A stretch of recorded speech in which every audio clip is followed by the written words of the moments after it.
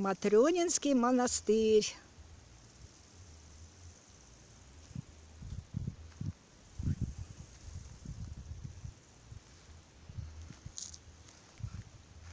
Далеко вот так вот видно.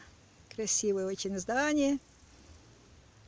Здесь в советское время были склады зерна, как везде и всюду.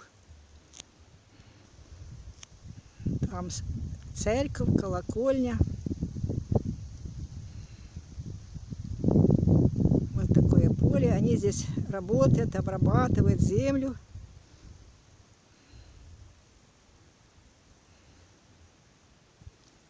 Действующий монастырь. Это в Холодном Яру. Монастыря есть своя история. До войны и после войны. Вот когда начинается история этого монастыря. С 1037 года. Вот здесь это все оновленное все. Здесь не было ничего. Мое детство этого здесь не было. В 1754 году, 58 Григорий Сковорода был в этом монастыре.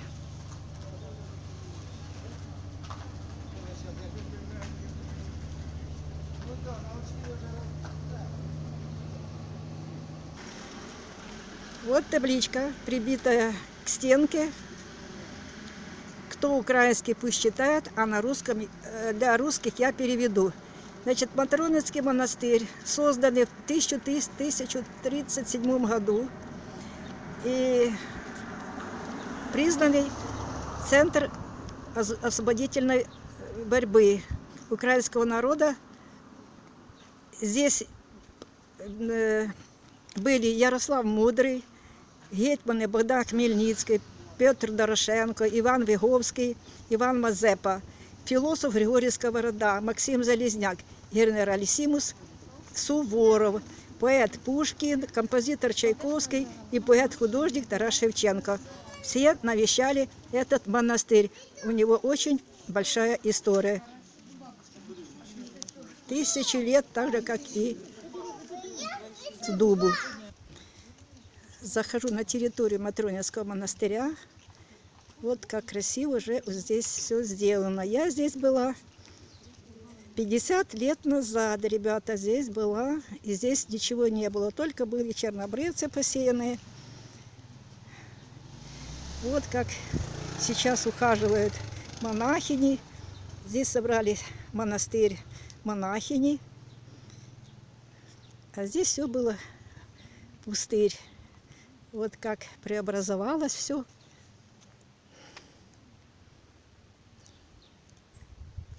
Ребята, не буду много говорить. Вот как расстроился этот монастырь. Вот такие, это уже новые здания, этого здания здесь не было, мне кажется. Но сверху крыша покрыта таким же железом зеленым, как в старовину. Но я не помню этого здания. Я здесь была, когда мне было 16 лет, 18.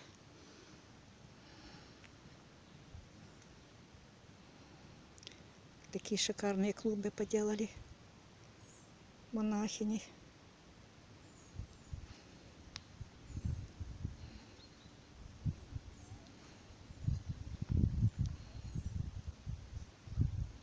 Посмотрите, как красиво все ухожено. Как солнышко, звезда какая. Бересклет постриженный.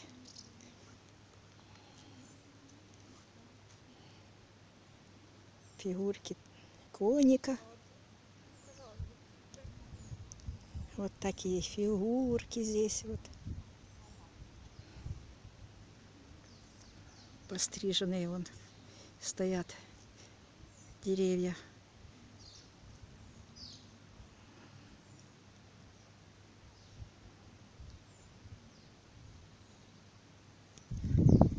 Сколько у них роз белые, красные, все ухоженные. Это розарий. Это второй участок. Первый мы уже прошли, это второй. Смотрите, этим деревьям уже очень-очень много лет яблони. Посмотрите, какой ширины эти яблони. Ну и яблоки еще на дереве есть. Интересно, сколько же им лет?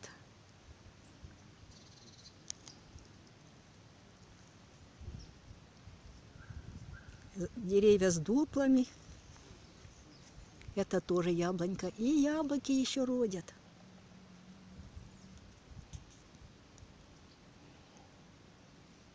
Федор Безродецкий.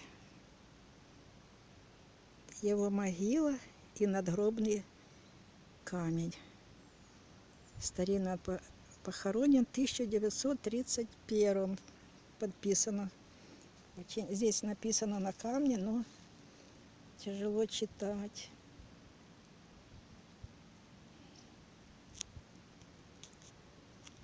Вот сама церковь.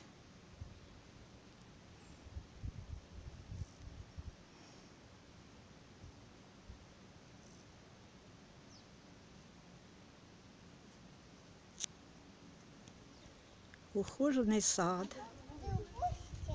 Красивый. Подстриженные газоны, подстриженные кустики. Не подхожу ближе. Хочу зайти в монастырь. Так, когда я здесь была маленькая, здесь ничего не было. Это все сделано за последние года. Табличка, грамота, написано, что этот монастырь был основан после похода Ярослава Мудрого на печенегов. Вот такая грамота висит поближе. Кто украинская, пусть читает.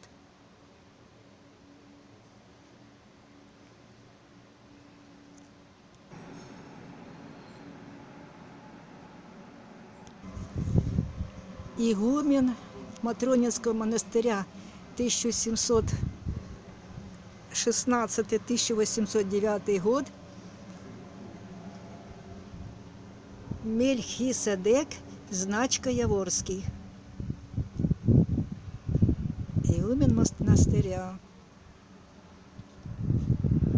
Видите, какой старинный, старинный это монастырь.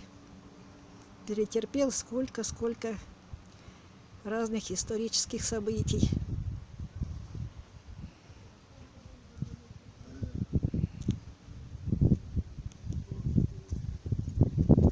1800 году игумен Матронинского монастыря Антоний контракт заключил и был освящен игуменом Антонием в 1805 году. Свято-Троицкая церковь под охраной государства.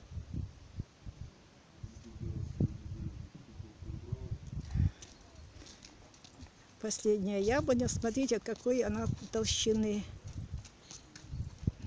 И с яблоками. Яблоки еще родят и падают, и крупные яблочки. Сколько лет этой яблони, даже не могу себе представить. За сколько лет такая яблоня превращается вот в такое дерево. Ну, наверняка больше ста лет.